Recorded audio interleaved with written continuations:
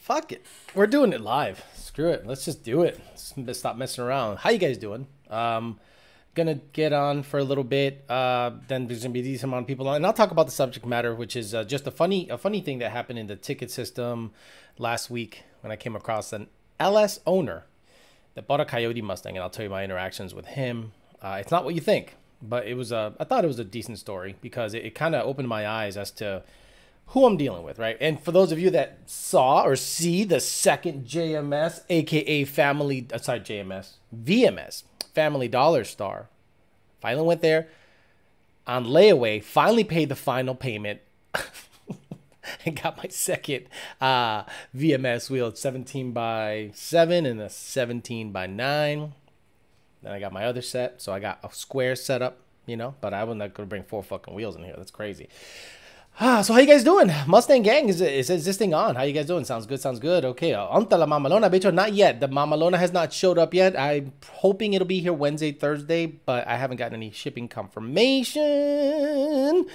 Uh, what's up? What's up? Uh, YouTube corrupt said, "What's up, man? Good morning. Good morning. Good morning. Good morning." Did um Valley Racing release another video? Man, I I love watching that shit. I when that thing comes on, man, I watch the whole fucking thing because it it it makes me look into a world that's so foreign to me. Like when I was street racing with my friends, I'd say, "Hey, bud, did you do something to your car this weekend?" He goes, "Yeah, I did gears and exhaust." "Hey, do you want to race me?" "Sure."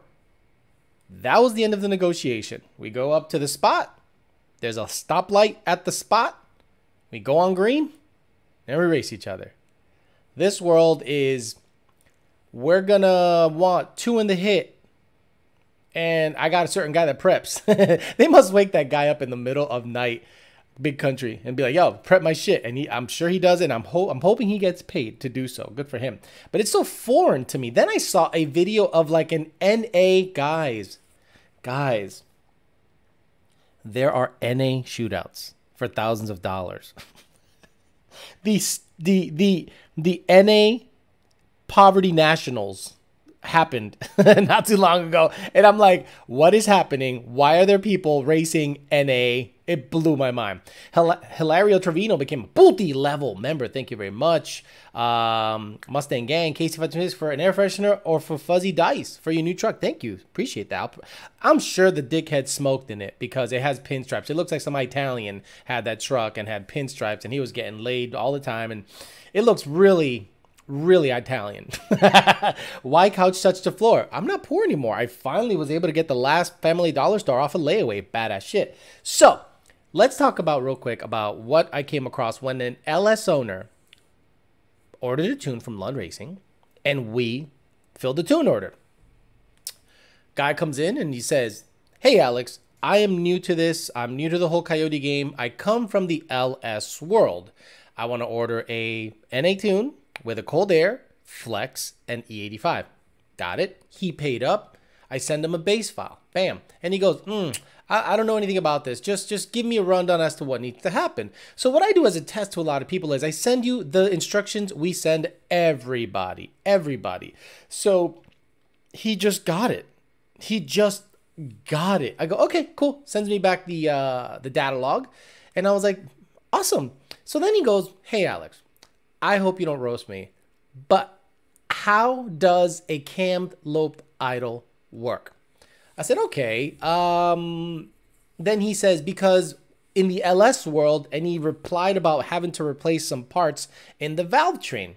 And I said, hmm, this is a good opportunity to explain to him exactly how a cam loped idle tune works and to see if he gets it, right?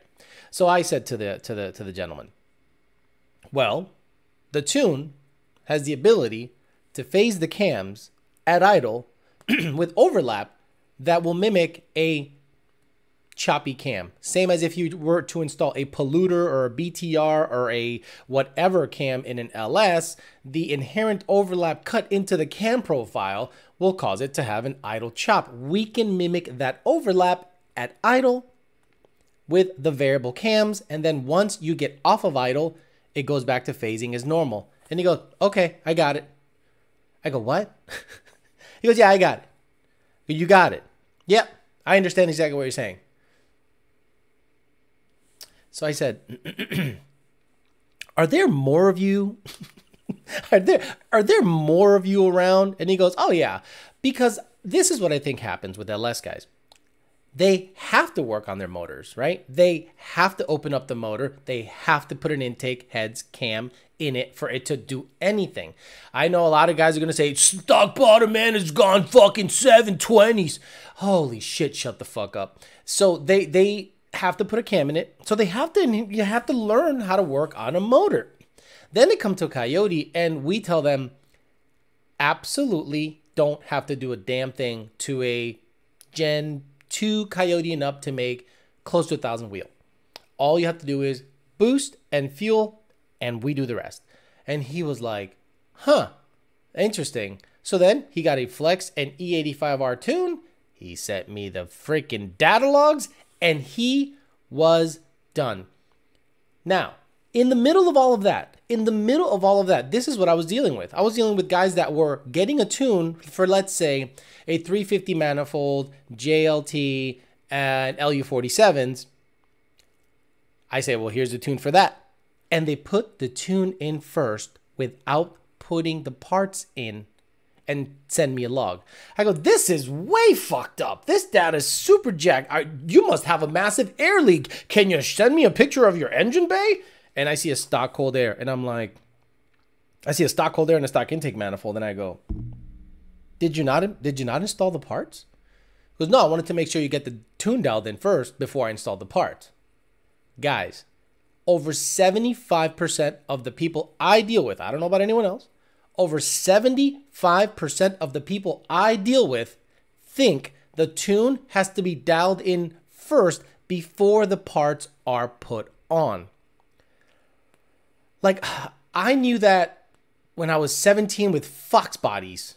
I couldn't just put injector, I, I couldn't just throw parts at the car without having proper calibration. Remember the C&L mass air meter that was calibrated for a certain size injector? That little tiny tube inside the C&L mass air meter was different than stock. So this tube is calibrated for 19 pound injectors. This tube is calibrated for 24s. This because it changes the diameter of the mass air. That's basically what, what it was doing. Uh, the sampling, the where, where, where it was sampling air. And this LS guy just got it. And the, the subsequent conversations made me go, so, okay, LS guys have to work on their car. LS guys have to. They have to get in there. They have to do a lot of manual labor on their vehicle so they have a better understanding of modding. When they come over to the Coyote world, they go, I don't have to do shit. No, dude, maybe bolt on a cold air and an intake manifold. But aside from that, that's it you're done. And if you want to make more power, you bolt on a blower or you bolt on some turbos and you install a fuel system and you party. And I think that that's when the the the LX LS owner realizes, oh, that's the allure. That's the draw of the Coyote. The draw of the Coyote and Coyote powered Mustangs is the lack of work that you need to do to make power. Unfortunately, that attracts the fuckboy that doesn't know a goddamn thing and wants to, you know, make sure the tune's running good before the parts get put on. So it's very difficult um, to maintain your composure. I'm going to be honest with you. Sometimes it's really difficult to maintain your composure, and I walk away. I just get up out of my computer and I go go for a walk around the block because I'm like, because if when you get like 30 of those, 40 of those, do you know how many times I hear, I have a race coming up Sunday. I need to get it dialed in, and it is Friday at 4 p.m. I am very honest with the customer. I say, you're not making that race. Use the weekend to dial the car in. Oh, I gotta go, I gotta go. They go anyway, and they go, it blew up. It blew up? It blew up? I'm I'm shocked it blew up. You mean we didn't see any data logs? Dialed and we didn't dial it in and it blew up? And now you want to pop off that it's my fault? Now I don't say that in the ticket system. I say that in my head. And I go, oh, let me guess, you raced it without us having dialing, you know, dialing in anything or seeing any logs. Well, I just needed to get to that race. Why do people think they're fucking street outlaws and they need to get to a race? I've also seen people really hurrying up to go to a race and then they go with stock tires. And I'm like, why did you why did you go with stock tires? It, it, look, I think the LS owner or any owner even old Fox body owner that will admittedly not know anything, but has had hands on and had to do work on their vehicle, probably understands remote tuning better than someone that just buys it, affords the 700 to $900 car payment with 1000 down with a credit score of 550. Oh, 550, that's pretty good. No, it's not. It's really fucking bad.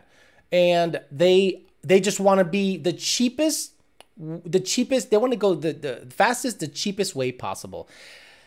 If you think budget and racing, you're already thinking fucked up. A lot of people follow the red car because they think it's a cheap build. Guys, if I would have taken into account the converter, the manifold, the injectors, the K member, the 373s, and the drag pack, I could have put boost on it and run a 1050 or 1040 on pump gas. Right? That is not cheaper. A lot of people say, well, we relate better to the red car because we can afford that. No, you can't because everything that's in the red car, if you were to add it up, it buys you boost. It buys you a Paxton, a Vortec, or even maybe a, a used TVS kit out there for about 5,500 bucks. 82 millimeter pulley, 79 millimeter pulley, ME52s, 1050s, stock converter. So you have to kind of understand where people are coming from to see how to gauge how good they are at, at you know understanding the relationship between you and your tuner. So the LS guy, if you're an LS guy, I'm talking to you, LS guy. If you're an LS guy and you work on your car, you've installed the cam, you've installed, you know, rockers, push rods, you've done intakes, you've done it all. In the Coyote, you don't have to do any of that shit. And all you have to do is listen to your tuner. Isn't that nice? Isn't that nice to be able to go nines just with boost and minimal mods and not have to pull the motor apart at all? Unless you like doing that shit. Unless you like doing that shit. So, if those kinds of owners are out there and want to convert to Coyote, I welcome you. I need you because I'd rather deal with you than the guy that wants to run an NA shootout somewhere and then wants to squeeze every single little. Do you know how many times I've heard? Ah, I think there's more in it. I I I, think there's more in it. More in what?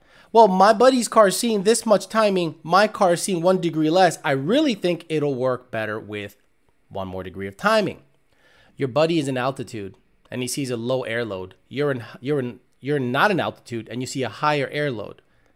But then then you have to explain tuning to them. I've also had people tell me, uh, you know, you need to crack the throttle open a little more. I need to crack the throttle. Oh, okay.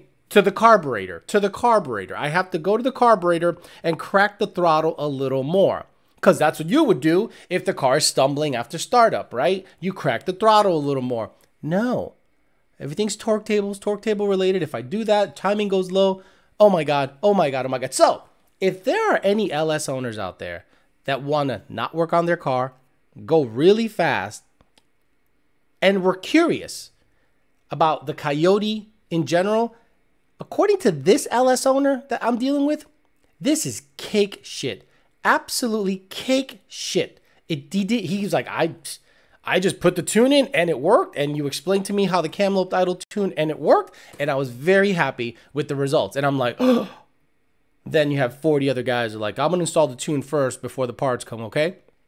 By the way, Alex, I finished dialing in the Flex E85 cammed and uh, drag mode tunes.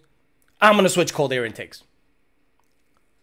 You're gonna what? Yeah, yeah, yeah. I, I wanted a Steeda cold air intake, and I dialed in pump gas flex, E85, E85 manual mode, E85 drag mode, E85. Oh, I'm gonna change my cold air. Okay, go back on pump gas. You can't just change the cold air for all my tunes. No. You decided that you thought a cold air is gonna make a big of a fucking difference. Guys, the cold air is not gonna make that big of a fucking difference. A stock cold air is good enough for what you need to do. Hell, a popular uh, a popular cold air intake upgrade now is basically a stock cold air. That's like an upgrade. People are now ditching their cold air intakes aftermarket and going back to a stock one that has some modifications done to it, which actually work pretty well. And what do we have to do? We tell you, oh, oh so you've already done this. We have customers that go stock cold air, all the shit, JLT, all the shit, Steeda, all the shit, PMAS, all the shit. And then they go, ah, I'm gonna put a stock one back on. And I'm like, I could have told you that from the get go. But for whatever reason, the customer doesn't believe the tuner. For whatever reason, the customer thinks he knows more than the tuner. For whatever reason, the customer talks to his buddies who don't know anything and also don't believe the tuner until you've spent 900 to $1,200 on different cold air intakes, only to end up with the stock one back in the car. Seen it so many times, and that is now a popular mod on Gen 3s, modifying the stock cold air intake. And and and you, I basically say, put your old tune back in it, the one with the stock airbox. Are you sure? Yes, the diameter is stock. It's the same. And they're like blown, they're just blown away at the whole situation. So, uh, LS owners, I welcome you. I want you in here. I want you being part of the part of the Coyote lifestyle. Why? Because you're easy to work with. You seem to understand shit, and there's less shit you have to do to make these cars fast. So please come on down. There's plenty of room for everybody. I'm trying to see if I can see the actual um, uh, paid questions here. Very good, very good, very good. Okay, so get to your questions, get to your uh, comments, talk some shit. It is called talking shit. Omar Garza says, follow me on IG Elote Fed. Elotes are gross. Isn't that corn stuffed with butter and like paprika? That's the most disgusting fucking thing I've ever seen. How the fuck do you not realize you're tuning for those specific parts? I have no idea. Do they purposely give you the difficult customers? So YouTube corrupt and free speech. When I was gone at Texas 2K, Brandon Dakota and I'm sorry, Brandon, Nardi, and Tyler, and some of Junior uh, took my customers for two days and they went, Holy shit, Alex. I go, Yeah. Yeah. Yeah. You think you have it bad. Imagine you got some way from the valley was like, hey, oh, orale, oh, I'm gonna change my cold intake 50 times. So, uh, and then they do the runaround and then they ask the crazy questions and you're, and, and I'm patient. I'm like, they're just trying to go faster, just trying to go faster, just trying to, you know. But you can you can do your best. But I, I have some very difficult customers. Absolutely. Panochito says Phil. I got a chance to snag a 2300 kit on the Lolo. Do you guys support the Roush kit tune wise? Um, just looking to make a little more power NA than just play on the street. Phil, yes, absolutely. If it's a Gen 1, Gen 2, yes. Gen 3, not yet. JD Swag, channel support, cow touched all three walls today. I got the car show chair, chilling. I got the turbo headers. Them bitches might end up in the Fairmont. The goal with the Fairmont is run sub 850 with the blower and then sell the blower more than likely. Um, Justin Basin says, I got a 15 GT V3 33 pulley 1000cc injectors, 91 pump. For what? A 3.3 pulley on on a 91 pump gas. That's just all fucking bad. Are you insane? It's only making 6 psi. One bank is lean, one bank is rich. Any ideas? the injector's clogged. Again, this is it. Injectors could be clogged. Your O2s could be going bad. You're not seeing proper uh, manifold reference to the blow off valve. Many things. And if you look at my 19 GT dyno video, it explains where to grab the proper boost reference for your uh, blow off valve. But a 3 3 pulley Justin Basin on on 91 is dumb, like retarded. You need to do a 3 6 or a 3 8. You will blow that car up. 337 Speed said, Would you ever own a 2020 GT500? I thought about that. I was talking to Jake about that the other day. We were over there hanging out. Uh, actually, I went over there and got my, oh yeah, trans brake time for the uh, red car. So Mikey had borrowed my MSD two-step for the red car because the red car does have a two-step installed in it. Um, and I wanted, uh, this is basically to hold the RPM at a predetermined setting, which is right there, those little knobs right there. Ooh, right there. It'll basically, you can set the RPM, you know, whatever, whatever you want. Come on, focus, focus, baby. There you go. So I'm gonna put that in the red car, take video of me doing trans brake launches on the street, and then I'm gonna tow the red car Friday to the track and launch on the trans brake and see if I can go better than a 15360 foot. But um, yeah, I would buy a 2020 GT500, but only, boy, not at the prices that they're asking. If, if it gets down to $60,000, maybe one day, years from now. But I don't know, depending on what's out there later on. Like if there's a model test, a Tesla Model S Plaid edition out there for like a hundred and the GT500 is still 75, 80, yeah, it's going to be a tough decision. But they're a cool car to keep stock and drive around, I think. I think it's a cool car to have, stock, keep, drive around. I don't think I don't think it's uh, the kind of vehicle I would like to own because I kind of have those type of vehicles already. It would just be redundant in my opinion. Um, hey Alex, a 19 GT tuned by you made the switch after a recommendation from Matthew Goodall. Nice. Car's running great. But here we go. But I noticed the one-two shift always happens at 7,000 RPMs. Could you help me getting that to 7,500 with 355 gear? Sure, I could do that. Um, now, depending on the power it's making, that's okay. Jay Z gave me 20 bucks to ask that question. First gear is 470 something on a 10R80. So you're not going to see like a half second gain going from 7,000 to 7,500. Matter of fact, the red car gained nothing from shifting to 6,800 1.2 to 7,500 1.2. Gained nothing. Nothing in the 60 foot, nothing. It didn't gain shit. So I'll do it. I'll, I'll help. I'll, I'll work with you. But there's no guarantee it's going to gain a goddamn thing. I think it's good. And don't become one of these guys. I really think it'll go quicker if I bump up the RPM 400. No, it's not. What does the Steeda car shift at? 7,500. How much timing does it have? About 30. Same shit as the base file. But I thought that was shifting at 15,000 RPMs. No, no. All the reason it's fast, it's because he did some stuff mechanically to make it fast. I'm so glad I tuned in last week to learn that Terminators hold their value, says Matt 2011 GT. By the way, are you some kind of fucking lawyer or something? He's always on my shit. I love it. I immediately cashed my 401k and bought six Terminators and two Heritage Broncos. Don't worry, it done. Uh, it's very good. It's very good. A lot of references for the channel for the channel just in that little thing right there. Um, how fast did the O2 spin up in the ECU go from open to closed loop? About 30 seconds. 15 to 30, 15, well, I think 20 seconds. We start the car. Them O2s are not even moving. They're not even doing a goddamn thing. It's running off of the base fuel table cold. Then they switch on about 20 to 30 seconds after the car turns on. That's what sometimes when you turn a car on, it goes.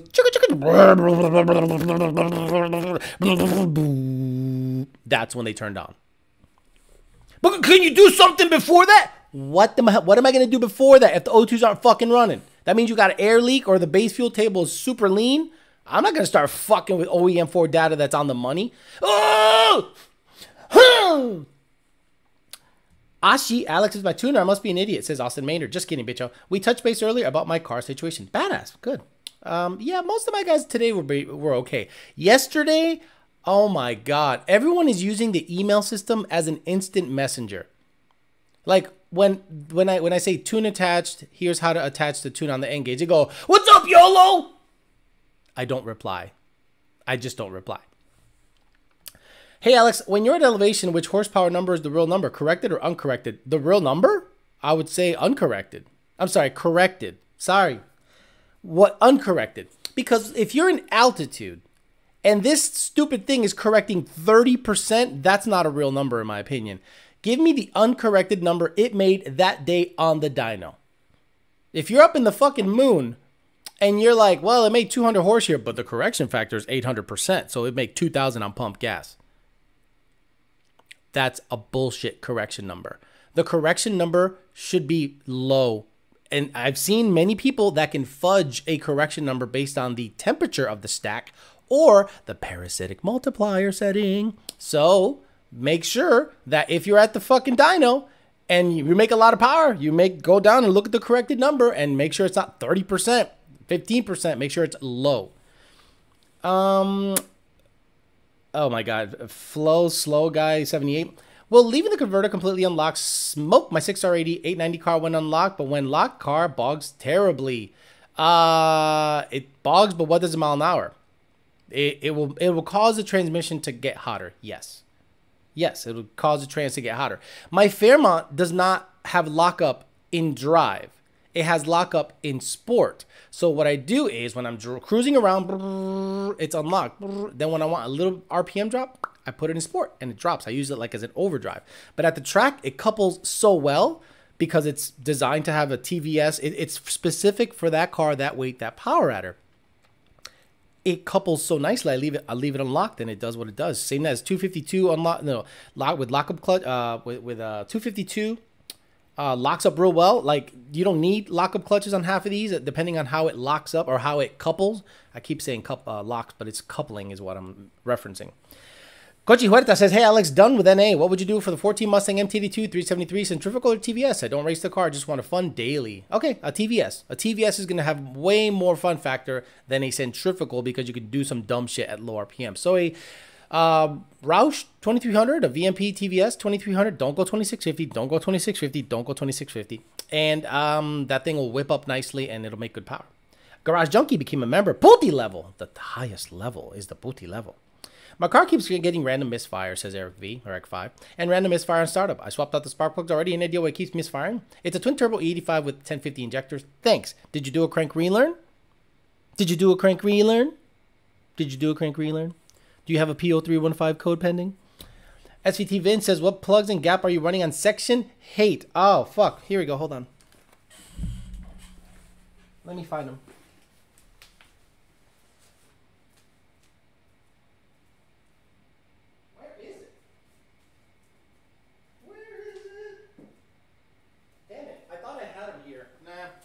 Here because I don't know off the top. Oh, here we go. They're over here. So this is uh, a. this is the spark plug I'm running on section 8 right now, the GT500. Sorry. Come on, zoom in, baby. Come on. Oh, you don't want to zoom? No, you want to zoom? Maybe maybe the light. Anyway, it's an NGK BR7EF, which is a 3346, and the gap is like 22 thousandths. 22 or 20, 20 or 22 thousandths. Very tight gap. It might even be 18 thousandths because it makes close to 1200. So it's a NGK BR7 EF, a 3346, gapped at, I want to say 18, 18 to 20 thousandths. McFuckface gave me uh, 20 bucks and then gave me the uh, fuck you emoji. Awesome. Scott's Scott Cuthbert says Gen 3 Coyote Swap 16 Taurus. What would that take? D dude, just don't. Just just don't. Just don't. It takes a lot of fab work, a lot of dumb shit, and it's and you're gonna end up with the gayest fucking Gen 3 swap like on the planet. Don't do it.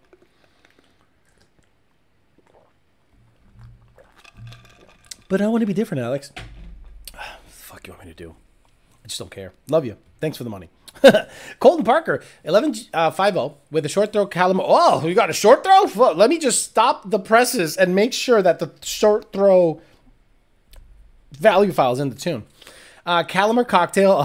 so you got Amsoil, some other shit, and some other shit. oh, it totally changes how it shifts. No, it doesn't. Um, FBO, E85 ported boss, BMR suspension. Oh my god, this guy's full of all the garbage. I'd like to go dig racing to no prep. Any tips? Uh, sell that car and get a Turbo 400 Coyote. you want to go no prep racing dig? I mean, what in the fuck are you? Why do people have an obsession with no prep racing? If I go to a track that is prepped badly, I stop going to that track. Why do people have an obsession with no prep racing? No prep racers make, like good no prep racers, make thousands of horsepower and they way dial it back. And then once the rubber laid down, what is the obsession with no prep racing? I do street stuff because that's street. That is no prep. But to go to a track so that there is no prep blows my fucking mind. Do you like MGW shifters? I do not. I don't even have to finish that sentence. I do not. Uh, for for GT500s, I think your options are limited, but I've I've seen Steeda shifters be decent. But honestly, I would do if, if Barton makes a shifter for the GT500, I'd get that overall. Oh, but they don't make it. Well, guess what? Sorry, I don't like MGWs. Just not a fan. And Terminators guys do suck with their Oakley wearing no fear barbed wire tats. You're 100% right. uh, red eye, red key. Whoa, you're a badass. You got a red eye with a red key? Just sign on to the Radford Bondurant Racing School time that came with my car. what? Wait. Wait, what? You bought a car and it came with racing school tips? Did you see that fucking Hellcat plow a truck right after a Cars and Coffee? Any driving instruction is a good thing to help nearly 800 horsepower, right? Hope to see you fellas at the track. Okay, that's that's pretty. That's a pretty good. That's good reasoning.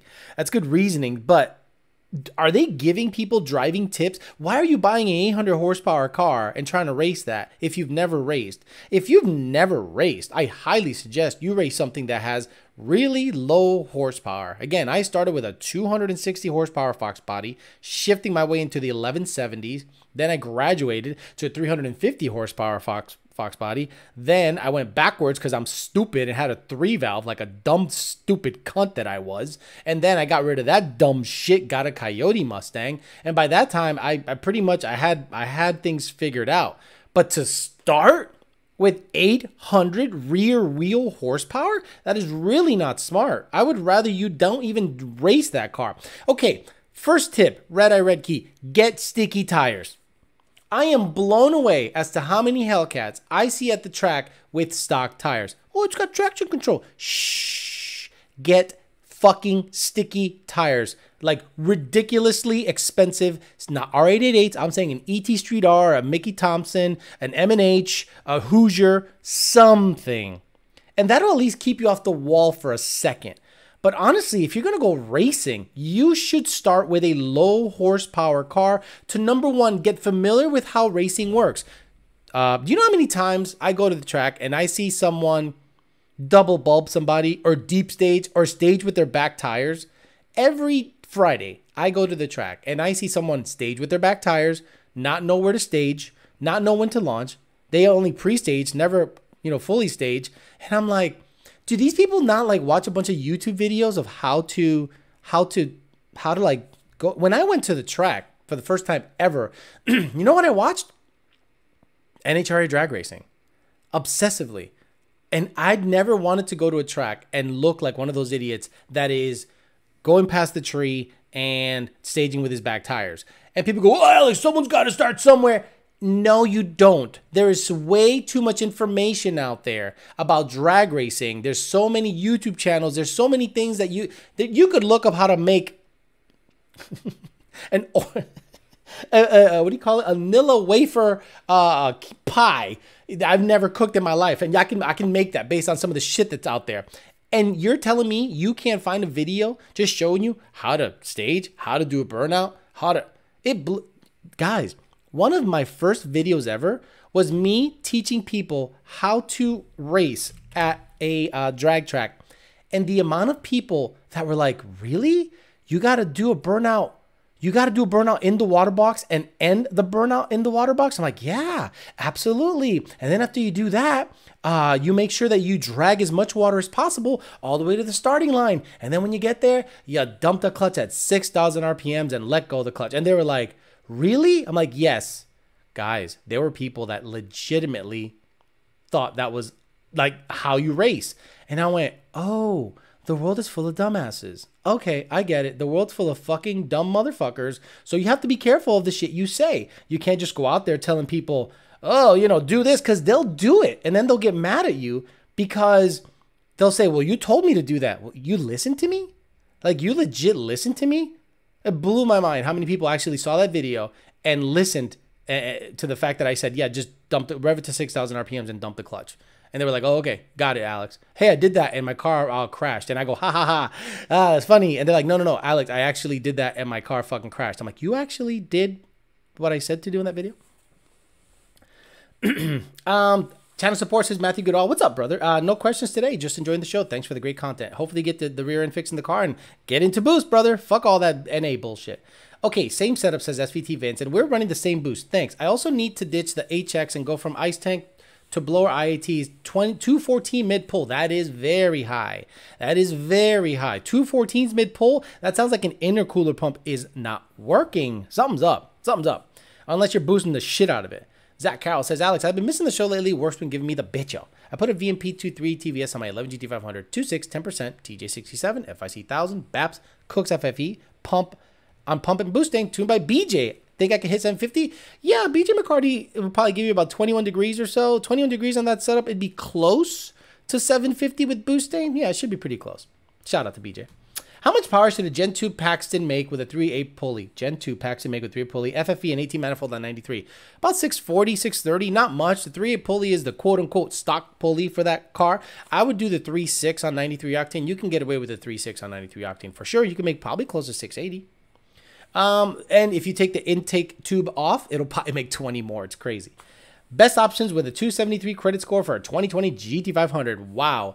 You know, I wonder what the guy at the dealership says when, you know, brothers go in there with uh with with a no credit score and they try to get a car. Like what the fuck do they do? They actually shop his credentials around and some bank, Bobo Bank of Bank of Zimbabwe fucking I'm like, "What the fuck?" Look, I've seen someone said the 392 on the side of a Challenger is not the cubic inches, it's the driver's credit score.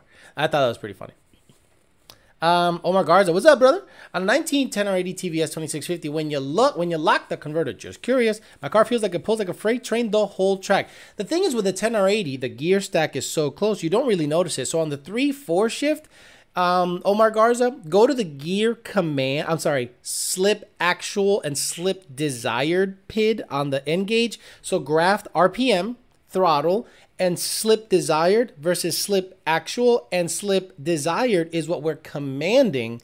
Slip actual is what is happening. So you'll see slip actual commanded probably on the 3 4 shift, and you won't even notice it. It's so subtle on the red car, everyone goes, I hear a delay on the 2 3 shift. And they go, Do you think it'll go faster if you don't lock the converter? No, it loses three mile an hour. It's a loose, loose converter. I need to couple it. And why do I couple it there? Because after 50, yes, 5 0 tunes, that's the best place to lock it. I did all this dialing in on the street. And who benefits? You motherfuckers, because I gave my tune to Matthew Goodall and he went the exact same time I did, 11.3 with less mods. So that's the that's the whole reason I have that car so that I can do all of the vetting on my end on an NA application so that someone like Matthew Goodall can just get my tune and boom, he's done. I don't save the sauce for anybody. And I've also heard that dumb shit on the on the on the on the ticket system. Oh, the Lund Racing doesn't give the good shit to the customers. They only leave it for Manuel. And you know what? You're right. You're right. We give you the B junk shit, and we give Manuel the good shit. We give him the sauce. We give him the midnight sauce. And you get just the bubble file from the B side. We actually dig into trash and go, oh, you want a twin turbo? Here you go. And when Manuel orders a tune, we oh it, it's right off the fucking oven, hot as fuck. Here you go, Poppy. Go gap that Corvette this weekend. Fucking people, dude. Casey Cardenas says, outside of you owning a GT500, thoughts on a 14 GT500 versus a 14 RS3 Aluminator? Have you ever tuned in a 14 Aluminator? I know they're rare. My bro sold his. Uh, yeah, I sold, uh, I did one uh, with, um, he was an electrician from Ohio. He came down to VMP and he had a Roush RS3 with an Aluminator. That bitch can make as much power as it wants. Like, I was just so comfortable throwing timing at it and boost at it because it was on the 85. And I think it was into the 800 horsepower range but real easily. He ended up selling that car, if I'm not mistaken. He ended up selling that. It was a black 14 Roush RS3 with an Aluminator and cams. He put cams in it. That bitch made like 800 horsepower, no problem. I think he's somewhere on my videos. If you go back on my videos and you see me at VMP with a black Roush RS3 that has like tire letters on his shit, that was an Aluminator 14. That was cool car. Um, bah, bah, bah, it's hilarious when people finance shit they can't really afford in order to receive praise from complete strangers. Blows my mind. People do that with houses. People do that with houses. You know how many people I know that are house poor? Like if I sold the think guys, really think do some math. If I sold the GT500, the red car, the white car, and kept the Fairmont, what kind of house do you think I can afford? Probably afford a fucking nicer house than anyone fucking can ever think of. But would I be happy? Fuck no. I could barely afford to put furniture in it. I could barely afford to. I don't want to get up every morning and like do work on the house. If it rains, I have to look around for leaks just in case. Cut the grass. Fuck that. Fuck that. No, thank you. Three valve credit union says Matt 211 GT. Uh, when a dealer updates a PCM calibration, I know you revert back to stock when you take it, but question: Does it does the updated Ford calibration affect the aftermarket tune when we install? Thanks. Great question, GZ Stang. So what happens is if you go to the dealership for any updates, like the phaser issue, the Gen 3 phaser issue, Ford is now starting to replace the phasers and it's fixing the issue. Yes, Ford is now starting to replace the intake cam phasers on Gen 3s and fixing the issue. So if your car is still under warranty, get that shit fixed. So if Ford updates the calibration on your vehicle, it unmarries it from your tuner. That's right. So if you go back, return the stock, go to the dealer, get the work done, and you try to flash the tune again, it'll say this this tuner's for a different tuner because Ford updates the calibration to the latest, and then that literally unmarries the Ngauge from the car. Now, on things like an RTD, it might be fine because I think the RTD licenses to the VIN and the catch code on the uh, on the uh, computer. I'm not a hundred percent because we uh, I can't really I can't really get into it without giving stuff away. But basically, I think the RTD will be okay. But if not, you'll have to go through the same process. You won't have to relicense it. If you do, they'll credit you that back. Looking forward to look La Coyote content. Javi Luna, we're gonna do a contest. What do you guys think? Let's let's give it up right now. Start throwing names out there for the truck. It's a silver F-150. I'm obviously gonna put up a poll uh, on the community tab of my channel when I get it. I'll take a picture of it, me, me with the truck, and we're gonna put up a poll of what to name La Coyote. Now I have a couple of names in mind, but I'd like to know what you guys think. Naming a F-150. Because uh, look, red car is Jean Grey, but I just call her red car. The white car is just a white car. Fairmont is Hush Money, and Section 8 is the GT500. Red Eye says that's funny. Bondurant kit is for basic car handling skills and it's free for our SRT buyer. Been watching Alex a long time. I'm taking it slow and easy. I know my skill level. Okay, good. Red Eye, then you must be, well, you must be with it. You must be with it. Now, truth be told, I'd love a red eye. I'd love a black red eye and just daily it. Actually, gun to my head, GT500 or red eye, red eye. There's one here and I see it every day and I'm like, that bitch is bad. That bitch is bad. Not only is it big, wide, but every time he gets on the uh, military and he whacks it, and you hear that fucking thing. Forget the whine. The exhaust tone sounds ridiculous in that car. I'm like, man, that's a badass ride. And it's black and it looks like the fucking uh, Batmobile. It's cool as shit. It's cool as shit. Sorry.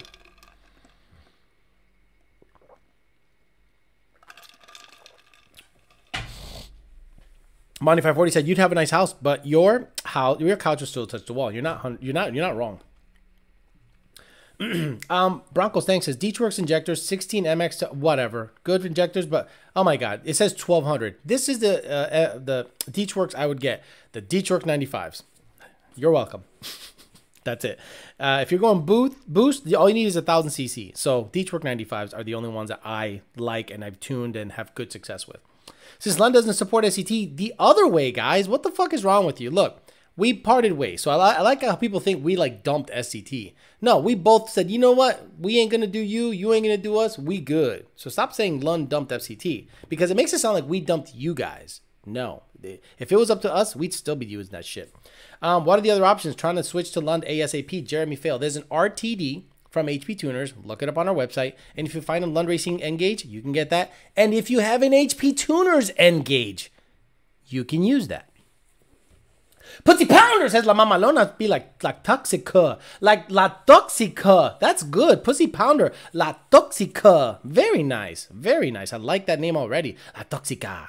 Call it, call the white car La Guera, La, La, Guera, La Güera, La La Güerita. Eh, La Güera, maybe. But that's I'm not gonna make all my cars Spanish, you know, you know, beaner names. I'm good. La Coyote name idea, te la rayo. Me la rajas. Me la pela.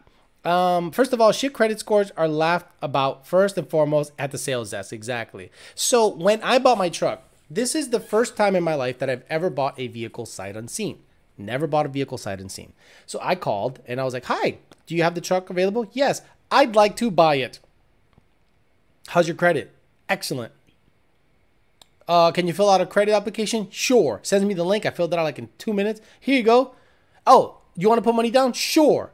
How much? I go, four grand. And he was like, well, you got a card? I got a card. Gave him the card. He goes, uh, okay. Calls me back. Uh, yeah, you're approved. I'm like, yep. Can you ship it down? Oh, yeah, hold on. Yeah, it'll be this. Sweet. Done. But when you go to a dealership knowing your credit is garbage, you're in for a world of hurt. You're in for high interest rates. You're in for big money down. You're in for being upside down immediately on that motherfucker. It's going to be a problem. uh, Alex, how's live? Call the truck and NICs. that shit gets everywhere. Um, it is. It, it is the color of NECs, like nickel anti-seize. What's the max horsepower for stock Gen 2 motor? Now, stock safe. To me, 800, 850 is stock safe. Can you make a thousand? Sure. Would I make a thousand? No. I'd keep it about 8, 800, 850 so it could be good for a very long time. B Lightning says couch touches the wall. Alex, how do you like using HP software versus the previous software? I like the previous software personally because it my eyes are comfortable to it. HP Tuner software is is backwards than what I'm used to, just backwards.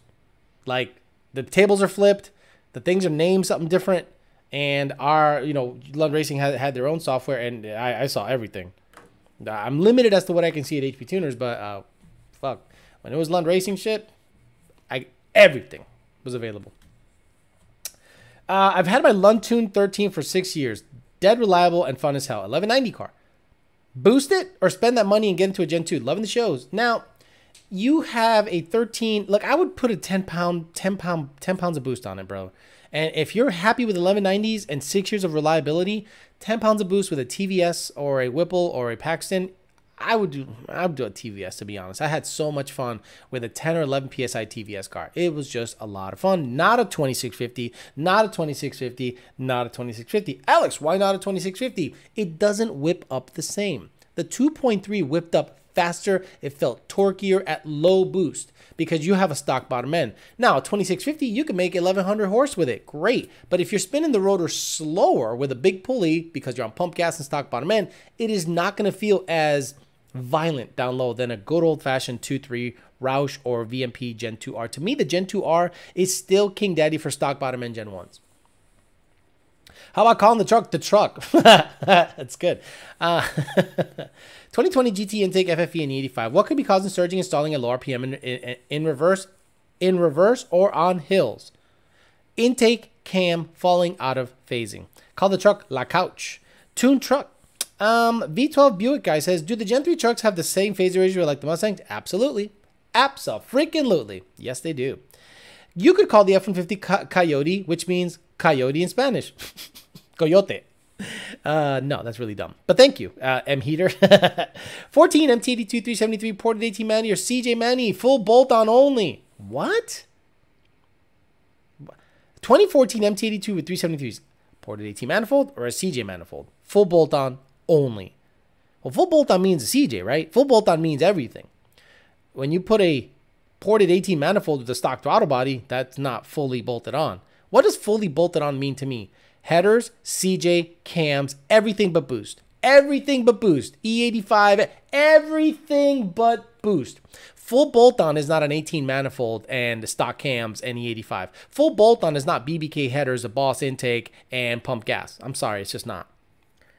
Naming cards is gay. Michael Nunn. I know, but people like to engage uh, things. They like to engage into the uh, engaging your audience is important on YouTube. Normally, I wouldn't give two shits. Um, so I'm in the peasant chat. All right, that was quick. What's next for the red car to get closer to the tens? Um, I'm just gonna do the trans break, and then after the trans break, it's gonna go away for a little bit. It's not gonna be on the channel for months because it's heading out west to do some stuff that I'll talk about some other time. But it's not going to get a nitrous kit in, for a very long time. So I'm going to concentrate on the white car, getting a clutch E85 in it. I'll concentrate on Hush Money, and I'll concentrate on Section 8 and the truck. But the red car is going to go away for a little bit. And I can't talk about it because it's all super secret bullshit. But it's going to go away for a little bit. Um, but I'm going to try the trans break Friday, and I don't think it'll dip into the 10s. I, the other thing I could try is an exotic fuel, right? Not just E85, but I could try some nasty ethanol, that like violent shit. And I have the recipe, I have the formula, and I might try that at the same time. So I might do crazy exotic fuel and trans brake at the track Friday and see if the axles hold. It might touch a 10.9. Makes sense. The dyno car made 5, 6, 650 wheel, but only trapped 120. Yeah, exactly. So on the dyno, in altitude, your car made 650 wheel corrected, and then it only trapped 120. My car trapped 121, 122. And that car makes 420 rear wheel horsepower. 420, the red car makes. Alfredo Diaz noticed that there was 666 viewers. Ooh, el diablo. Channel support. Learned everything about coyotes from you. Currently tuned by AED, but I respect London. All the records. Keep up the good work. Thank you, NB50. I appreciate you uh, not being tuned by us, but still watching the channel. I appreciate that. You know how some people can get adversarial about the whole situation, but you're cool. Call it La Lobo. Man, you guys suck. All I'm saying is some of the fastest Fox bodies got an LS in it. I'm just saying. Right. I know that. But what does that have to do with you? Some of the fastest Fox bodies, the guys decided um, I can build an LS, it's cheaper, or, or just the packaging is nicer, and they go fast. But can you afford that? Can you build a fast Fox body like them? Or are you just living through someone else's shit? I don't do that. I don't go, well, like MMR, right? MMR has the fastest coyote like anywhere, right? Do you see me saying, well, MMR's got the fastest coyote, so buy MMR shit? No, I just say, well, you know, they have a motor that's made out of billet, the block, and big cubic inches. Turbo's bigger than my fucking head. I can't compare that to what I'm doing. I can't compare that to what I'm doing. We're in different worlds. AV661 says, I have a 15 with a flex tune. Do I need a revision for free, free flowing headers? They're not BBK, don't worry. Um, I would do this though. I would I would install all look, that would be illegal, EPA illegal, and I would drive that uh, only on a closed course, racetrack, not on public roads. But just plug in all of your O2s. You might get a code for cat inefficiency if you go free flowing exhaust. We, we can't shut off codes. That is against EPA regulations. We got to stay in service. Ever use one ethanol that Real Street Performance sells? It's direct swap for 85. It's a new tuning required. No new tuning required. I've used one ethanol R on all the vehicles, and I have not noticed one thing different. Because where I get fuel from tests 85%. The 1 ethanol R is very good. It's very good and if you don't want to deal with pumpy 85, you're good to go. But I at my power level, I'm not noticing any difference. I have 4 jugs of 1 ethanol R thanks to John Senior, and what I'm to do is I'm to I'm to use that as a cocktail and I'm to see if I can uh, get some more power out of the red car. Since the truck is towing section 8, call the truck Slumlord. What's a 60 to 130 on the red car? Love you. Uh, nine something? Like in the nines? It's not in the eights. It's in the nines. Um,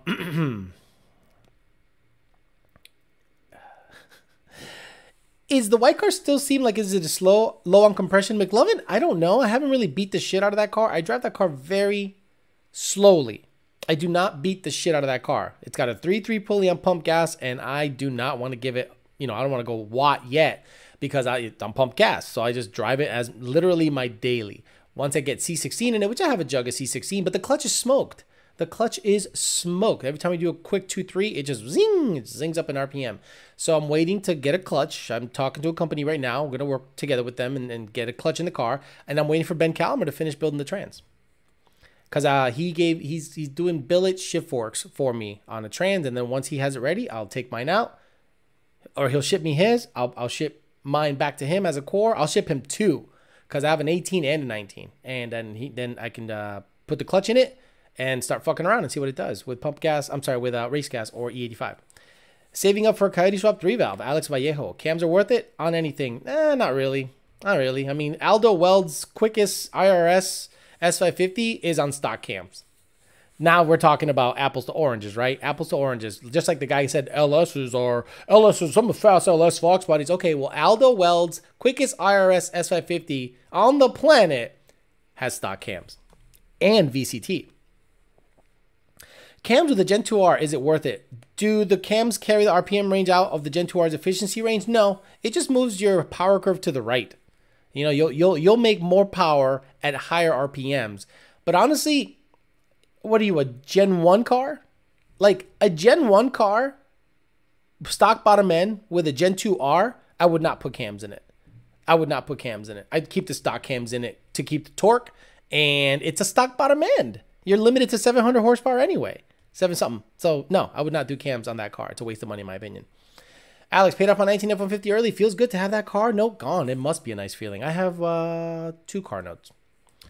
What's 6130? Gotcha. Gotcha. Since the truck is towing, gotcha. Damn, I'm late. I'll catch up later on. Couch is looking good. Couch is looking good with the with the poverty stars and the and the, and the turbo headers.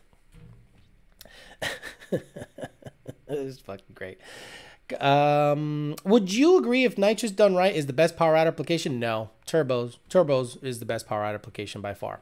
Cams with the Gen 2Rs are worth it. Got that. Uh, T-Top Capri. No, you need to billet chain, guys. Okay. 75% of buyers cannot pay for the steam off of a hot lunch. It is mind numbing. You're 100% right. Like, why would someone buy cams? First of all, your car's not going to chop. Okay. So if you think buying cams is going to make your car chop, you are sadly mistaken but the cams will basically move your power curve to the right of the dyno sheet. If you like how the car drives now with torque down low, leave it alone. The cams will bring the power in way up top. If you have a stock bottom end car on pump gas, you don't need fucking cams. That's fucking stupid. A 2000 plus dollar mod for 25 to 30 horse, maybe 40, but then it's you're still on pump gas. Like I'm blown away by that whole thought process. Um, How's your day been, Alex? Says Jared Wells. it's, it's been a, a, tough day today. Tough day with with the ticket system. Oh my god! Because people are now racing. People are now. It's springtime. They're racing, and they are losing their fucking minds. They're losing their minds. I have to get to the race. Oh my god! You're not gonna become famous. You're not gonna be on Street Outlaws. You're not gonna be this badass YouTube channel with an NA fucking car. It's not gonna fucking happen. But they think it is. Do you know how many guys I know bought the GT500 for clout purposes and they no people still don't know who the fuck they are? If you want to be popular somewhere, you have to have something else to offer than just you racing. Like if you think you're going to become 1320 video, then you got to do what they do. They go they travel all over the place, spend a whole bunch of money and capture races on video. But the characters and the people behind the camera are just as important. Fred and the other guy, the, the owner, uh, those guys, you watch just as much for them than the racing content. So a lot of guys, oh, I gotta get out there and gap fools, and, and then they, they're, they're betting money. Motherfuckers are betting thousands of dollars on on seven second eighth mile cars. Eighth mile, seven second cars. You guys are betting thousands of dollars. I am, I'm so glad I'm not into street racing nowadays. It's the gayest shit on the planet. The fighting, the bickering, the begging for. Look, Get up to the fucking line and take off. No one car, no two car, no crack the tire. Shut the fuck up. God damn it. When you see these videos, you're like, no wonder I don't I don't race anybody. I don't race I, I race my friends. Like me and Jake were talking about it the other day. I was in his office and he's like, dude, I don't want to race anyone on the street. Everyone's a fucking idiot. They're an asshole. They don't understand. Like, like if I jumped, I'll go back to my buddy. Hey man, I jumped. You want to rerun it? Sure, bud. If you jump, you got to pay half. If you break, you got to pay half. If I'm just like, what the fuck is wrong with racing nowadays? And you're putting thousands of dollars on seven second eighth mile cars. Embarrassing. Embarrassing. Built bottom end says McLovin, but are you on pump gas? Are you on pump gas, McLovin? Are you on pump gas? If you are, I wouldn't do cams. Um, Big Poncho became a bitch I 11 member. Thank you very much. Dominic Chaplin says, I just bought my car three months ago and they said it's tuned by Lund. How can I make sure? I don't know. If you do you have a device? If there's a device serial number and you knew who the previous owner was, we might be able to help you. You got to email us at support at lundracing.com. Good with that. Big Poncho says, I have an F 150 2015, idles at 500 RPM when warm. Slight tick when cold. Sounds like exhaust leak, but it isn't. Mile per gallon is at about 10. Think it's the solenoids? I don't know. I have no idea. If it's idling at 500 RPM, it's stock. Stock trucks idle at 500 RPM. Um, so I don't know if it's a solenoid. I don't know why miles per gallon are down. I'd have to look at a log to see what's going on with the cams. Joshua Atkins, damn, you paid too much money. What are you doing, man? He goes, Evening, Alex. I appreciate you tuning my 16 GT uh, manual transmission performance packs Whipple the other day with a Steeda. Nice. Picking it up tomorrow. Cars, a dream come true in the making for over 25 years. Thank you, Ed Lund. Yes, Steeda has um, you're picking it up when?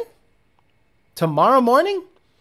I'm trying to think if we if we actually finished that car. I don't remember. I did like six Whipple cars today, and I finished four. and then I I finished two turbo cars today, and then one nitrous car and a turbo truck. Dude, it's just remote session hell right now. Um, but yeah, if you have any other issues, man, just get with us and we'll be able to take care of it. Um, you're gonna have to relearn how to drive it. Understand that the Whipple car, the bypass shutting, you'll have like a surge of just you know acceleration when the bypass shuts. We try to lessen that by the throttle feel. So you'll just have to get used to the car. Whatever you thought it was stock just don't don't think it should it's going to drive like stock. It's going to drive very good but it's not going to drive like it did stock. So you're going to have to relearn some of your habits, but I'm sure you'll be happy with the power delivery of that Whipple. Congratulations. And very happy to work with you guys and Steeda. They're great people to work with. They they know what the fuck they're doing. I like them very much. did you say before I can just throw E1R with no revisions to be comparable to E85? Yes. Ethanol 1R, throw it in with the same tune. You don't need any tune changes. It's 85% ethanol. Um, E85 or just swap a Gen 3, Gen 3R head unit. Oh, gotcha.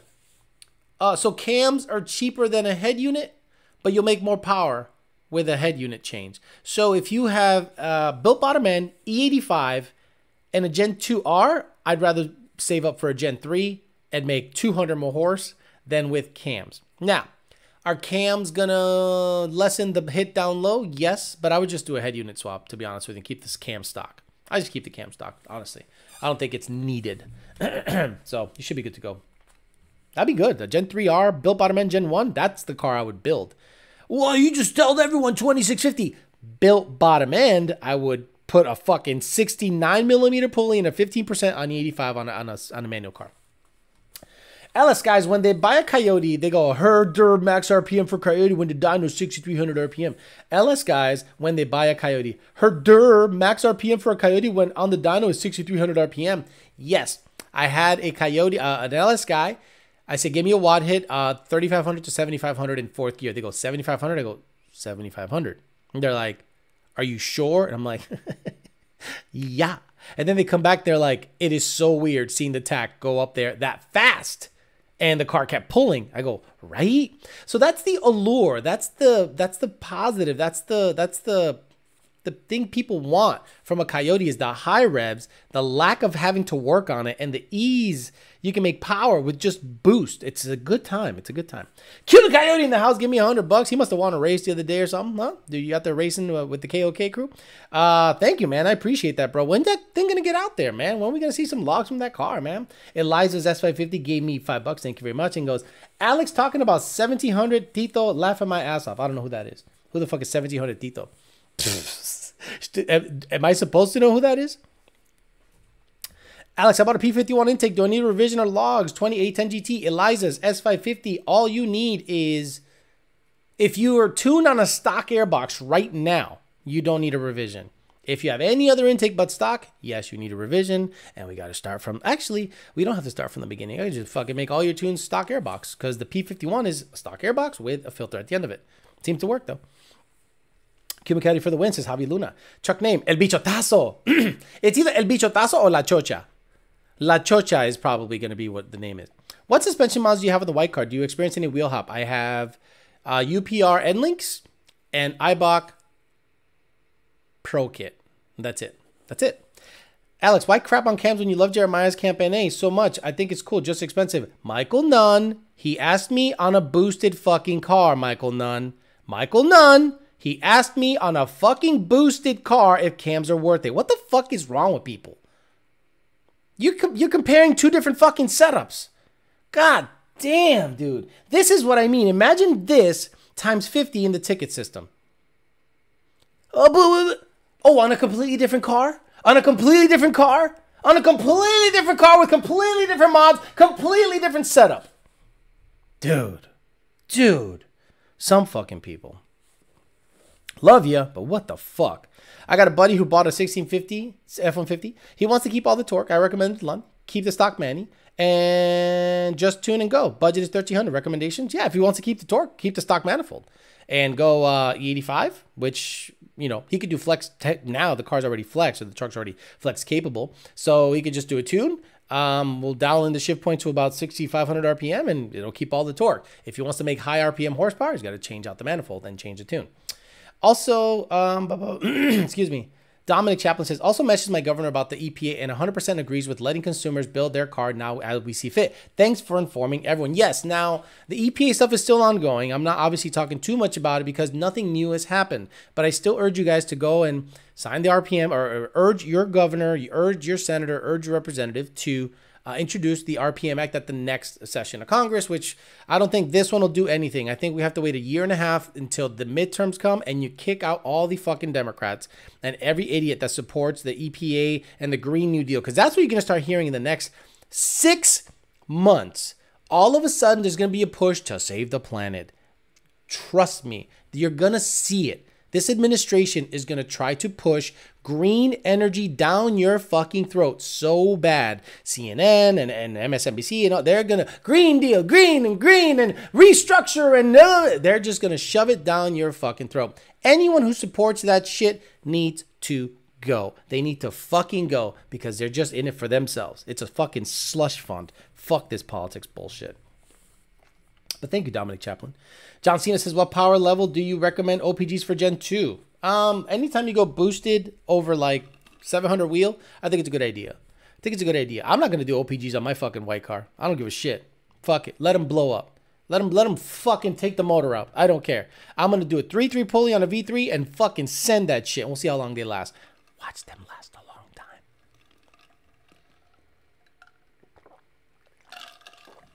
time. Alice, what would be needed to a 21 M6 to go in the low 11s? Low 11s? we had a CJ customer go 1090. CJ E85 uh, free flowing exhaust slicks, and he went out there and ran 1090s with a with a CJ. Michael Nunn's talking all that shit. You crap on cams even when talking NA. Just depends on your mood. Whatever the wind blows. Good questions tonight. Yeah, exactly. I crap on cams. I when I ask a question, when I when someone asks me a question, I answer their question. Right. So if they go, Alex, are cams worth it on my stock intake car? I go, no.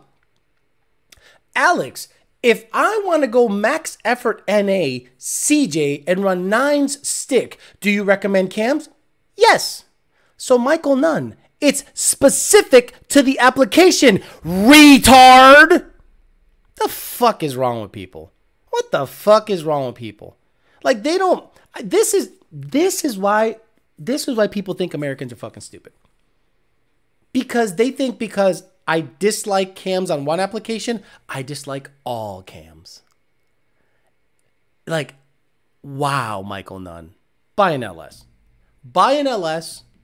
Start.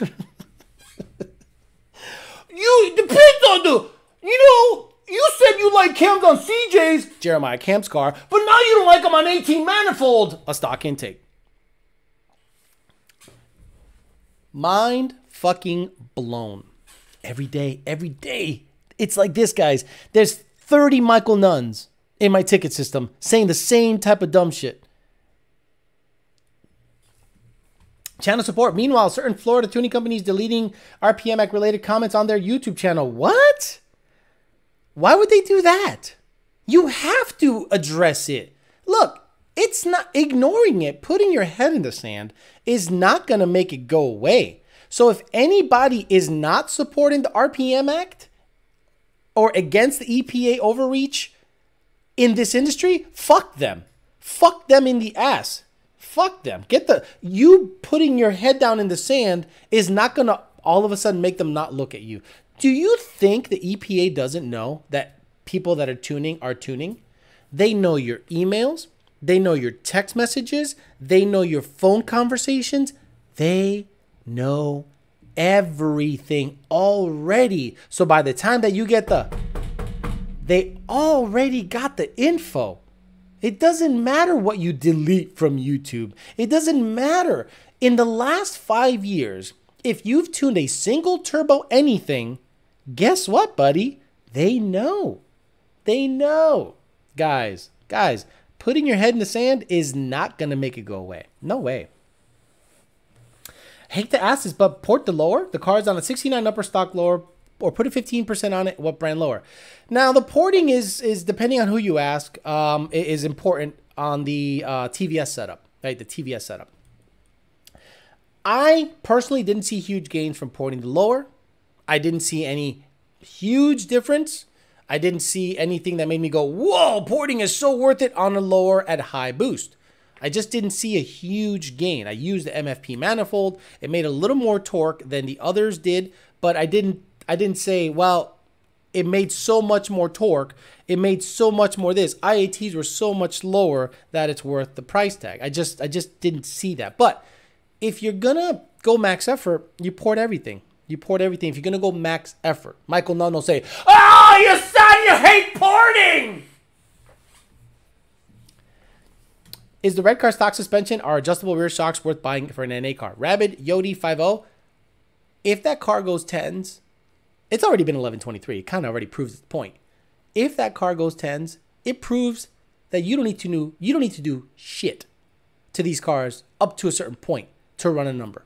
So if that car goes tens, I'm gonna go stock everything. Stock stock brakes, stock axles, stock drive shaft, stock springs, stock struts, stock shocks.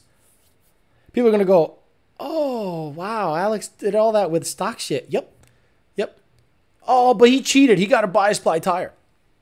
Michael Nunn is back talking shit. Alex, you're so pissed tonight. I don't blame you. I understand your answer, question, in context. You actually did say, why would anyone buy cams, by the way, in that context? In that context. If a TVS guy, if a TVS guy says, well, I got a built bottom end, I got a built bottom end, and uh, I want, you know, all the shit.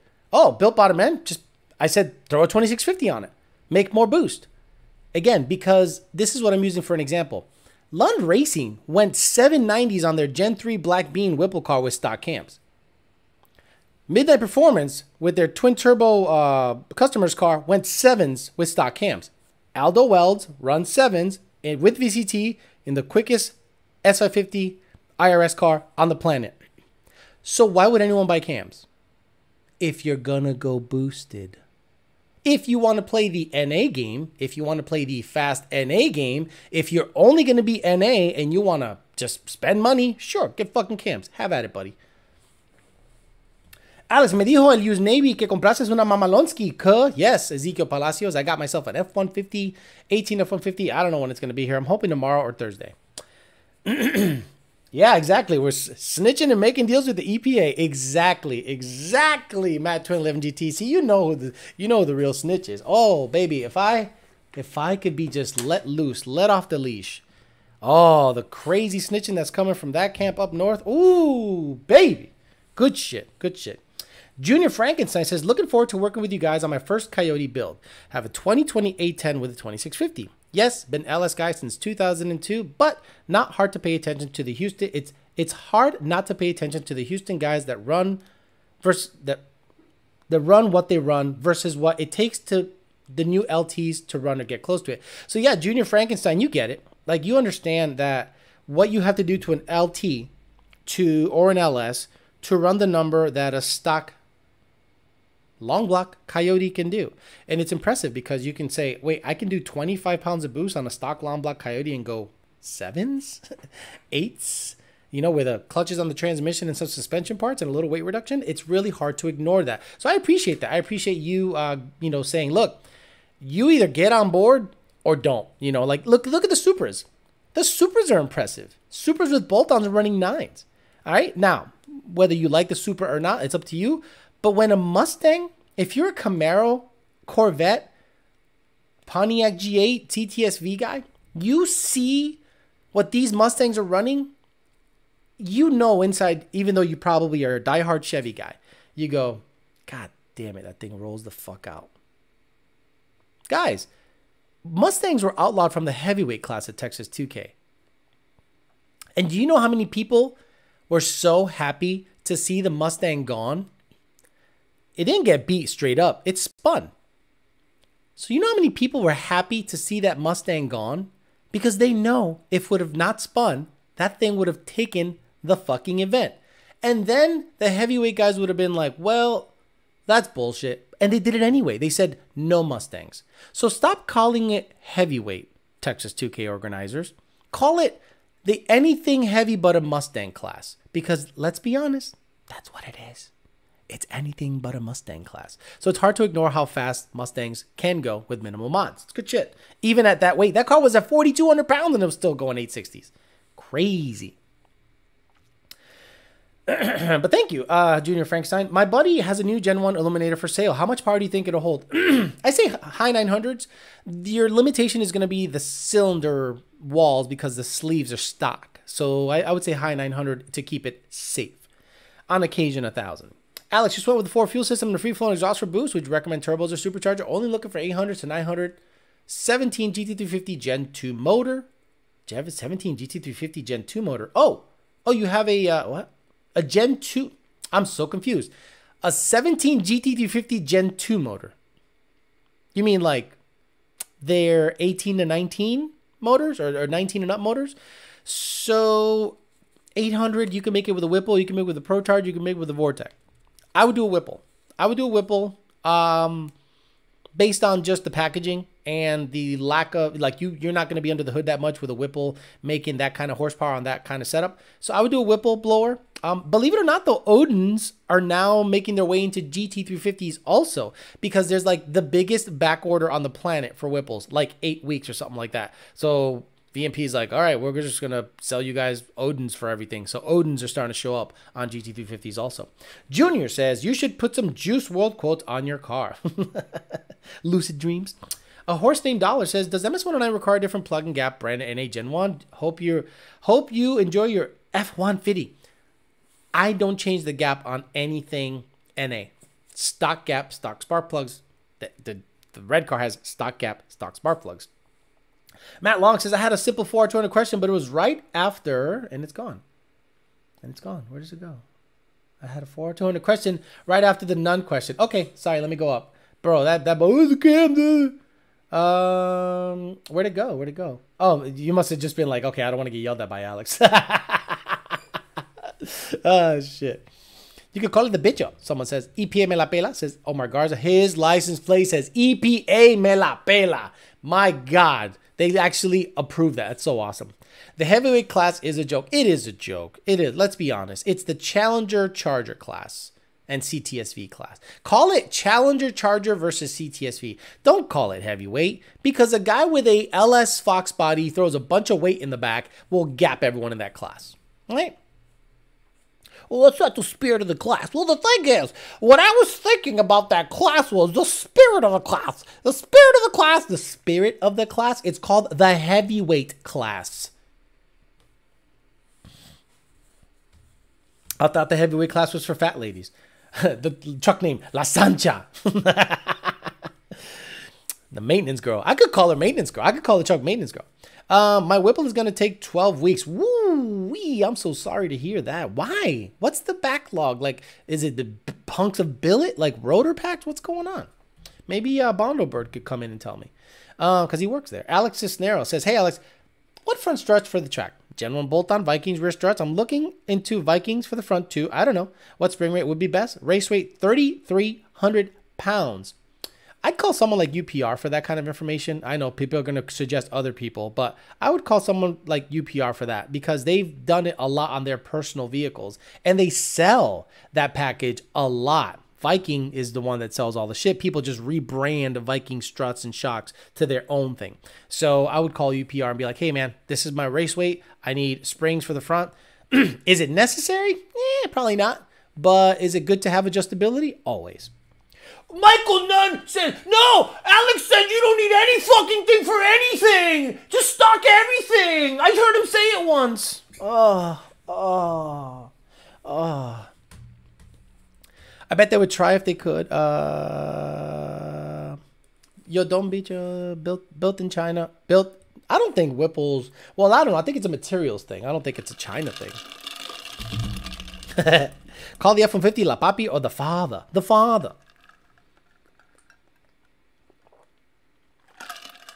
Kooks is eight weeks out, so it must be materials, right? It must. What What's the big backlog of, of parts? Like, is it materials? Is it cost? Like, why? I don't know. I'd love to figure out. Uh, I'd love to figure out why. Why the the big delay? Um, ordered my Whipple October and received it late February. Yep. Wow, Joshua Atkins. That's yeah, that's that's late. Now that's only gonna help people like VMP. And if VMP was smart, they'd have a bunch of shit ready to go. Ready, I mean, I'm saying kits, and they should promote the shit out of it. Kits in stock. Duh, duh, duh. This is the time to do it. But if Whipple starts shipping shit out, then they're gonna lose out on it.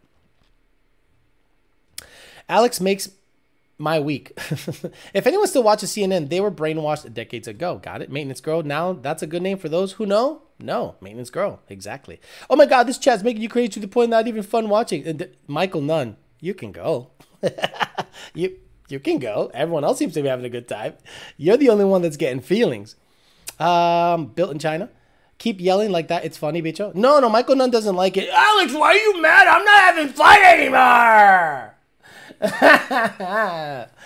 Dude, there's always a target uh, on someone's back uh, on the chat. So today just falls on you.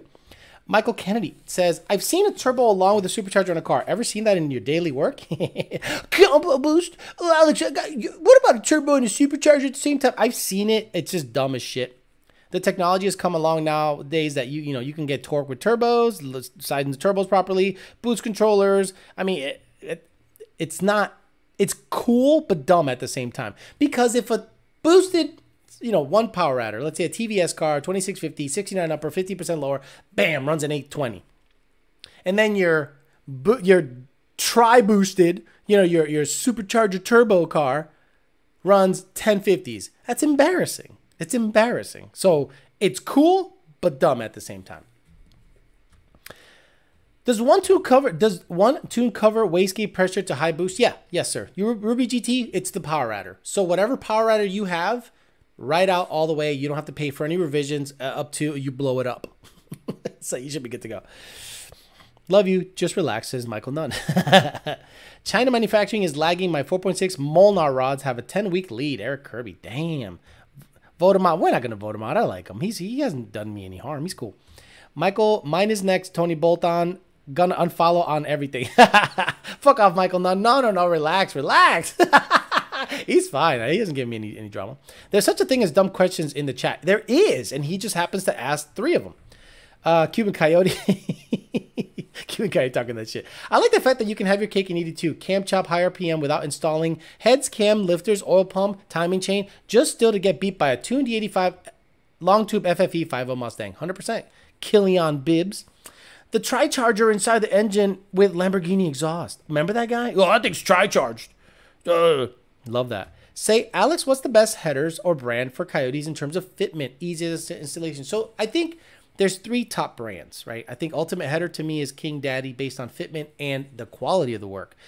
American Racing headers is also very good quality, great fitting headers, and so are Kooks. So you can't go wrong with any of those three. I just happen to have ultimate headers on all my vehicles.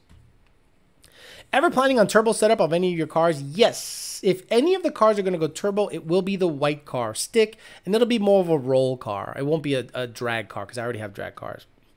Um, have you tried any other ignition coil brands or OEM only? Not for power, just failure replacement. Mike A, I haven't had any coil failures ever, so all my cars have stock coils. CNN, Fox, and MSNBC all fucking sucks. You're not wrong. Vultures laughed my ass off. We just all on edge today, ready to squabble. Mike Nunn just busting balls. It's all good. Now he's good. He's good. Have you tried any other? Already got that. Got that. Got that. DEFCON K. Martin Five on a return fuel system with triple pumps. What's the least amount of fuel you should have in the tank? At least a quarter or more. Because remember, guys, a return style fuel system hat is open. There is no bucket right? So the bucket has some fuel in it and it will not slosh. But a return style fuel system hat is open. To, and your whole tank is basically your bucket. So fuel can slosh and momentarily starve you of fuel, causing a stumble if you have too low of fuel. So I always prefer at least a quarter or a half tank in your shit all the time. Cal Brandon dropping his dick on the chat. Gave me a hundred bucks, but hey, so did Cuban Coyote. So hey, we got two puppies on this chat. Thank you very much, Kyle Brandon. Again, you don't have to do that. You've done enough for the channel. Hell, you've been the main driver of the red car. You're the one that actually made me go shit. He sent me the Steeda crash bars. He sent me a bunch of stuff. That guy's been super legit, and a lot of the success of the red car is due to Kyle Brandon because it wouldn't even be in my head. It'd be sold by now. Is if if it wasn't for him urging me to keep going with the red car. Ford makes good coil, says my backwards. Um, what is FPO power difference between Gen 3 F-150 and Mustang? Would a Mustang cam swap be worth it on F-150? Um, depends on the generation F-150, but V12 Buick guy, I think Gen 3s make similar power mod for mod than Mustangs. Um, what is, uh, we got that. And King Daddy's here. KB representing, Kyle Brandon. KB. Um, trains emit more P per passenger than a car. Stupid EPA. You're not wrong. You are not wrong, brother. Running a stage three Roush on a factory sealed first gen has an 82 millimeter pulley currently. What's max effort pulley for pump gas? Once it spins all apart, I'll put a second gen short block in it. 79 millimeter pulley seems to be the the the the limit for not just the bottom end, but the, the gas. Pump gas and then even on E85, you can make 720 or so on a 79 millimeter pulley, or maybe high 700s, or high 600s, low 700s, which is very close to the limits of the rods uh, on Gen 1 Coyotes. Joe Jackson says, Alex, your description of the LS guy and his type is spot on. I'm an old school Chevy engine guy and do my own engines, but I watch this channel because of the simplicity of Coyote's ability. Joe Jackson, thank you very much for at least co signing on what I'm trying to say. Look, a lot of people think I'm full of shit. A lot of people think I don't have any chops, that I've never done shit, that I've only been a Coyote guy my whole life, that I've never owned a small block Ford, that I've never worked on cars, that I've worked on more shit than you can imagine. I just don't need to feel like justifying that all the time or telling you all about it. I've had probably 30 Fox bodies in my life. Pulled engines, transmissions, rear ends, lifters, heads, cams, you name it. I've done it all. I've done it all to all Fox bodies on the planet. But the only time people got to know me is during the Coyote era. So they think I'm a Coyote guy. I am a Coyote guy because of the simplicity, because I've done all the cam swapping, all the dumb shit. I know it. And the LS guys are literally going through what us Fox Body Ford guys were doing in the late 80s, early 90s. Just under the hood all the time, swapping massive parts out to gain minimal power. Once the Coyote came around, I became a believer. I said, wait a minute, this thing makes 420 stock, the 11, boosted, it made 650, pump gas with 10 pounds of boost. I was like, I'm in. I'm in. No Fox body was making that kind of power. No, none, zero. Now I have a fucking Fairmont Fox body with a Coyote in it making 900 horsepower running eights.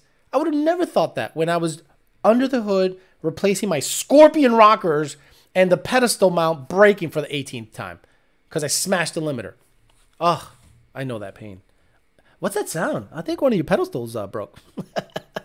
you got to get stud mount rockers. Oh, but the adjusting them is a pain in the ass. We need you coming in a little too high power and you want to squabble. Yes, today's one of those days. I just like I just want to squabble and I just like you know I just, I just want to be a fucking asshole. So you know here we go. What the fuck? What's up, nigga? You want to squabble? And then we do some fuck you bloody. Bloody fuck you bloody. Fucking mother bloody fuck And Wednesday coming in a little too high power, brother. Check this out, fool. Okay, you coming a little too high. Too high. I like it. I should that should be louder. Um, Zach Davis says, made the mistake of looking at a data log. I saw plus 315 reading on the knock sensors when the nitrous hit. 150 shot on a Gen 1. Knock went down as RPM went up. Sound like false knock to you? It sounds like the nitrous came in very early. So if you brought the nitrous in under 3,500 RPMs, delay it at about 3,900 RPMs, and it should keep the knock sensor happy. So we have Michael uh, Nunn says, I text type exactly how I talk and think things come across wrong. The same way I cause problems texting chicks. Love you, Alex. You're putting in work tonight. It's, it's, I appreciate you. I'm not mad. I don't get mad at anybody. Like, I don't get mad. When I say, fuck you, go away, I, I'm like talking like I talk to my friends. I talk to all you guys like I talk to my friends. I don't respectfully talk to my friends. I go, hey, buddy. I go, what's up? F word. I can't say because YouTube will literally take shit out um, you know, call them derogatory terms for everything. I'm not nice to any of my friends, and that's how we talk. So I'd like to think if I talk shit on you, it's like I'm talking to my friends. Do you know what I am saying? Um, Carlos Ortega says 14 GT MT82 CG Fab single turbo hot side. Badass, which is basically that. um, what size wastegate spring for 650 wheel? What would I need for return to? Dude, you're okay. Carlos Ortega, I love you and I love to take your money. I have no fucking idea. I don't know what size turbo you have. Uh, your, your, what size wastegate spring for 650 wheel and would need a four full system at power level? Look, uh, 14, oh wait, 14, 14 GTM TD2, I'm sorry. What size wastegate spring 650 wheel? Um, it depends on the turbo, right? So how big's your turbo? CG5 single turbo hot side. Boy, I, I would think a, see the thing is when you put a spring in there, you can make that boost level times three, right? So if you put an eight pound spring, you can make 24 pounds of boost. If you put a five pound spring, you can make 15 pounds of boost. If you make put a 10 pound spring, you can make 30 pounds of boost, right? That's how it works, I think. So um, 650 wheel, if you have a boost controller, an eight pound spring will be plenty. If they come in eight, eight pound increments. I have no idea. I'm not really good with turbos. Zach Davis said, made the mistake of look at that. And Brent 5 became a member. I got about five minutes left. Ah, two minutes left. I've been on for over an hour and a half. So I'll stop at 9.30. Got four minutes left. I've been good. It's been good. The chat's been good, been active. Had over 600 people, which is nice average number. Kyle Brandon topped in. Uh, Cuban Coyote stopped in. Casey, my lady, is out there having my back. We got also YouTube Carolina Free Speech as the mods. I love it. This is so nice to get back to normal. Ruby, GT, in your opinion, what is the best intake manifold for a turbo setup? Um, under 30 PSI, I like the 18 manifold or the 350 manifold or the boss. Honestly, all three are really good. But gun to my head, gun to my head, a GT350 manifold. Under 25 pounds of boost. Over that, you need something metal. Hey Alex, thoughts on Matt 660 P51 intake? Thanks from Hawaii. It's a stock airbox modified with his elbow and, and filter. It makes good power. And the nice thing about us tuning it is it gets the stock airbox tune and it just works. So Matt did a lot of testing with me with his what he calls a P51 intake. It's a stock airbox modified, and it actually flows good numbers, and he's out there beating people with it. So look, I've always said a stock airbox is best for Gen 3s, and he found a way to maximize a stock airback airbox. And the nice thing is for your tuner, it gets a stock airbox tune. It's a really nice time. Um, at what high RPM I have to shift slow or it won't take second or fourth or fine. It happened on a training work and short throw install. Do you think it's a clutch? It is the clutch. Jake and Brandonberry, it's not releasing at high RPMs. It's the clutch. It's the clutch. It's the clutch. It's always the clutch. Uh, Michael Nunn became a member. Potilo. Not only has he given me money on this chat, he became a member supporting the cause. Gotta love the dude. Gotta love the dude. KC526 killing it as always. Yeah, she's always on there. She's giving people the, the links. She's deleting things, everything. What's your opinion on the turbocharged F-150 stock 5.0? Uh, I Mamalona eventually is to be turbo. It's eventually to be a turbo. Did you guys see the uh did I show you the uh the the the turbo craziness that Jake is doing down at uh, PBH with his truck?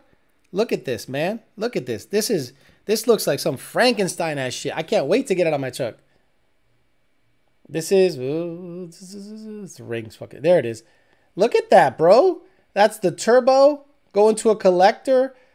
Two, whatever the fuck those are. One routed with one so they could spool the turbo up quicker. Then it opens up at 5 psi. That's going to be undermounted under the truck. I want that on my truck, but look at that crazy ass looking shit. Imagine that shit under your F 150. No one even knows. You open the hood, you don't see shit, but this is like by the bed and it's making all these crazy fucking noises and gapping motherfuckers with a big ass 80 plus millimeter bullseye turbo. I want that. I said, Jake, the moment you make that happen, I'm buying it. So I bought the truck based on this. This is how much I co-sign on Jake's work, right? There's there's a thing called supporting the people you're surrounded with. And I support Power by the Hour 100%. Once he gave me his vision of what his red truck was going to be, I said, I'm buying a truck. He goes, Yeah. I go, Yeah, I want to support what you got going on. And after his vision became reality, I was so happy with the end result. I'm like, Oh my God. That's what you were thinking the whole time? He goes, Yeah, I just want badass stuff under the truck. And he goes, I'm not looking to beat the world record. I don't want to beat the world. I don't want to be the fastest F 150. I just want to go nines on the street and fuck. That truck will never see the track, says Jake. I just want to be on E85 and go up against a car, a truck, and just gap the shit out of it with this setup on the street with my 22s on Nitto 555 R2s. He made me a believer, so I bought a truck based on him. I need a truck to tow, but I didn't need that truck. I could have bought a Tahoe, I could have bought anything, but I bought a Mamalona, not only for channel content, for tuning, because a lot of guys, a lot of Mexicans, a lot of people like a little F 150 regular cab truck, but to support Jake's vision of, of uh, the turbo setup. I support. I put my money behind my words, bro. Some more support. I'll be buying the blower tomorrow. Mad excited. Only weird is the 47 pound injector sound a little too small to be tuned by you guys, right? Phil, if it's a Gen 3, the 47s are fine because you have 16 injectors on a Gen 3. If it's a Gen 2 or a Gen 1, that's kind of a small injector. Curse Garage says, going all out on my GT500 to break the stick record and called UPR on your recommendation and couldn't be happier with the quality of the parts and knowledge of the staff. Thanks again, Alex. Curse Garage. 850 is the world record. 850 by BPS, Billet Pro Shops that's going to be a tough record to beat. But man, I support you. Have at it. And glad you hit up UPR and uh, they took care of you. They're great people. Badass shit, bitch. I can't wait to get my truck, says Juan Resendez. Would the P51 intake be compatible to a sealed Steeda box filter? No. Um, supporting your friends and seeing them be successful is the best thing ever. Jared Wells, when I was down and out, rock bottom, rock bottom, 2015, Jake had my back. Donnie Renfro had my back. Frank Perdomo had my back. Those are my three closest friends here. Had my back, and they didn't even know who the fuck I was. But they said, man, this guy's, you know, he's struggling. So when they picked up the little pieces of my life and helped me get back on my feet, and I have become successful by all measurements, I've become very successful, I kick it back to them. I'm like, Jake, what do you need? What do you need to support something? You need me to make what the fuck do you need? So you got to help each other. You got to surround yourself with good people. So I don't surround myself with takers, and none of my friends are takers. They've all been excellent people, and I support them. Guys, two of my vehicles are literally going to go away for a very long time to help my friends with their ventures. Two of my vehicles are going to go away for a very long time to help my friends with their business. That's how down I am for the cause, bro. I'm, I'm, I'm down. The red card's gonna go away for a very long time after Friday. You won't see it for a very long time. So Friday will be the last lick I'll make on it at the track, and that'll go away, and that'll come back better than ever. But I'm not modding it. It's not gonna go away to mod it. It's gonna wait to do some R and D. Then it comes back, and I'll keep trucking along. Um, you used to care less about fast trucks. Now Jake's made you full blooded taquache. Look, I support Jake. I don't give a shit about trucks, but Jake had a vision.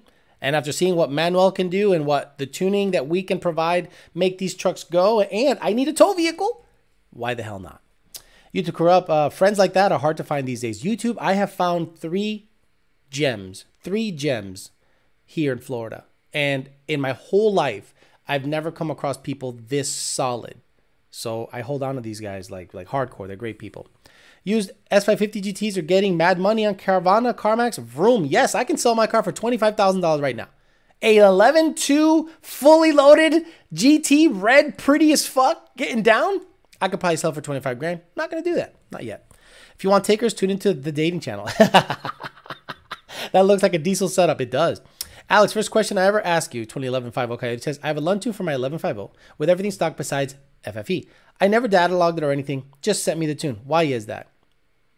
You could data log it 2011 50. If you have a stock airbox, stock injectors, stock manifold, stock, stock, stock, stock, stock, no logs are required. No logs are required. But if you want to data log your vehicle to ensure that the octane is good and the car's running well, go ahead and data log it. We'll take a look at a data log. We owe you that much. Um, I need a truck myself so I can put my Coyote under non OPP. Fuck Cali. 100%, bro. Fuck Cali. Fuck Cali in the ass. What's tomorrow's chat going to be about? Uh, I don't know. I don't know. We'll see what happens. Uh, if you guys are not part of that dating channel, go ahead and join up on that dating channel. Uh, I'm sure Casey will put up a link. Uh, we basically bro out, man. We bro out, and the Bumble Swipe segment is the best thing on YouTube. Dude, I listen back to my shows just for the Bumble Swipe segments, and it makes me laugh so hard because I'm so freaking stupid. Okay, guys, I'm gonna get the hell out of here. It's been an hour and 37 minutes. Appreciate you guys tuning in. Michael Nunn for for the support and the chat. Uh, Kyle Brandon for the big uh, donation, and also uh, Cuban Coyote for the big donation. Hopefully, I'll see you sending some logs really soon. And for those of you that are customers, I'll see you tomorrow on the ticket system. Thanks for joining in, and for those of you that are members of the dating channel, see you guys.